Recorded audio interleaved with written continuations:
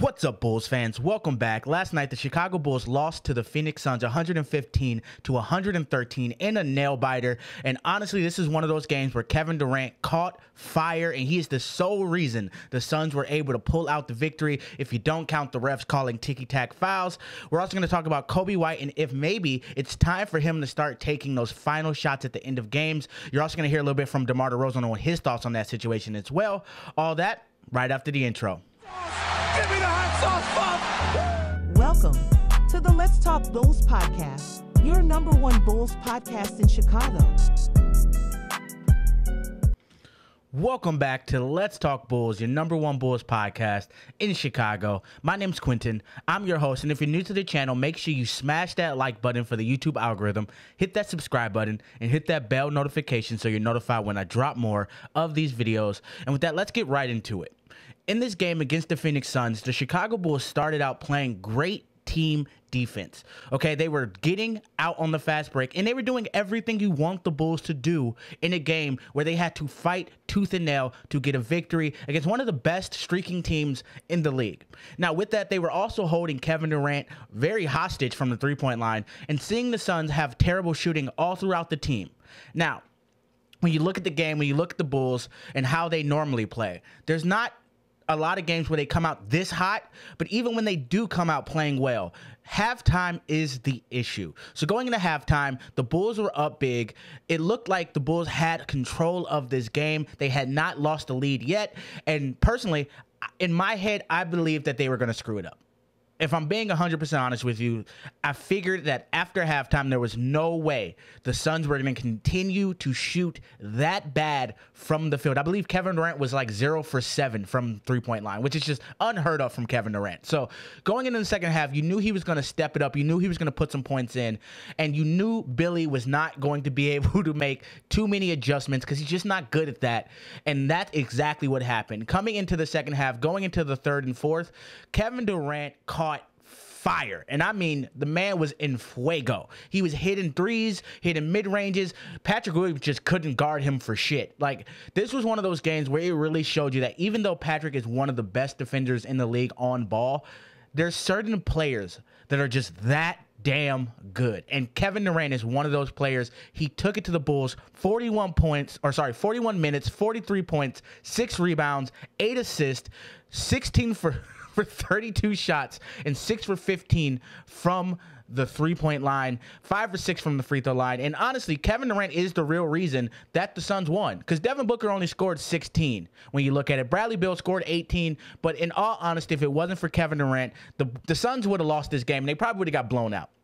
And that takes me to the second thing I want to talk about today, and that is the refs, right? So you could say that all of this was Kevin Durant. You can say be one of those people who are a Suns fan who say, "Hey, the refs called it perfect." You can be a Bulls fan who's going to say, "Hey, the refs called it terribly." But somewhere in the middle, there's the point that the refs called some good fouls and they also missed a few fouls. It looked like a game where the refs were letting contact happen, but it seemed like the Bulls were getting called for some really ticky tack fouls that didn't make sense, right? Just little touches on the elbow, little bumps that maybe shouldn't have been called. But on the other end, you're talking the Bulls were getting called for fouls for these little things, but Phoenix was over here bumping people off the center, smacking people beside the head, and getting everything they wanted from the refs. And that's not something where I'm not one of those people who say the refs are paid off, right? That's not how the NBA works. But I do think that there is a thing where the Bulls do not have, they don't have the reputation of being that grinded out hardy team like some other teams do. You get that from Caruso, but you don't get it from the rest of the team. And that's something you did see in this game. They started to get a little bit more aggressive towards the end. There were some chippy moments between Drummond and Eubanks. But what happens is the Bulls need to keep that energy. They need to keep that grit and that aggression all the time. Be one of those teams where you're not afraid to foul someone hard. You're not afraid to get in there and do the dirty work for the team. And I think Drummond's definitely a player who could do that for the Bulls. Now, that takes me to the Bulls, though right? We know Kevin Durant's great. We know the Bulls lost this game in a slight, slight loss. But when you look at the Bulls game, they didn't have a terrible game from their players, right? DeMar DeRozan, 21 points, five rebounds, three assists. Vucevic, 19 points, 7 rebounds, 7 assists. Coby White steps up again, 26 points, 10 rebounds, 9 assists. He's so close to that damn triple double. It's going to happen this year. You know it's going to happen. And for field goals, he was 10 for 14 from the field, right? Coby has been stepping up his game. And that takes me to something I do want to talk about. Coby White at the end of this game was taking some clutch shots, okay? He was making things happen in the clutch, getting to the rim, and he was not afraid of the big moment coming down the wire, ready to go back and forth with them in the late fourth. Now, that takes me to what I believe should be happening. Coby White should start taking that last second shot for the Bulls. It's just something that needs to happen. He needs to progress into that stardom for the team. We see DeMar DeRozan take these shots most of the time. And honestly, I don't know if that's something where the Bulls, as players, just trust DeMar more or Billy Donovan is running these plays specifically for DeMar. And when I say running plays, I mean he's telling them give DeMar the ball and move. Because there's no plays being run ever at the end of a game. It's always just give DeMar the ball, he'll figure it out and do something with it. Um, but when you saw Coby White shooting so well, playing aggressive, looking like he was confident, to have him not take the last shot when this is a young star that you're trying to build to be the future star of your team, it doesn't make a lot of sense. And what we're going to do is we're going to even listen to DeMar because DeMar apparently says that Coby's able to take that shot. So we're going to listen to that right now.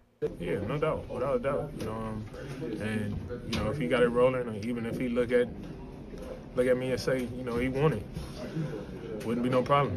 Take it. You know, we all we all you know that's how that's how much trust we got in, in him. You know, and I think even at night, coach was calling the play and Cole wanted to run something else, and coach said, you know, you got to say so too if you want to run that. You know, and, um, you know he kind of changed the play, and you know Cole came down, was aggressive, and made something happen out of it. But you know that's that's the trust we got in him. Whatever it is, if it's take the last shot or um, run the play, whatever it may be. And when you look at something like this, when you hear DeMar DeRozan sit there and say, "Hey, we trust Coby."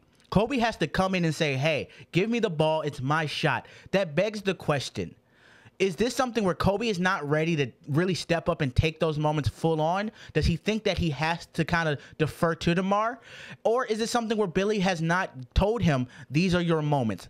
Who knows? But from hearing what DeMar said, hearing that they trust Coby to make those shots, I hope that Coby hears that and he takes that to heart. And in the next few games, we see him go, hey, I'm the one taking this pass because what has to happen is Coby has to get in there and say, "Look, I know you want to run this play, but give me the ball. It's not going to somewhere else. It's going to me, and I'm making the shot because that's the next level of what Coby White can bring to this team. He's already improved on his dribbling. He's already improved on his shooting. He's improved on his rebounding. He's improved on his playmaking. Now he's got to get that killer mentality to finish off games, and that takes me to the rest of the team.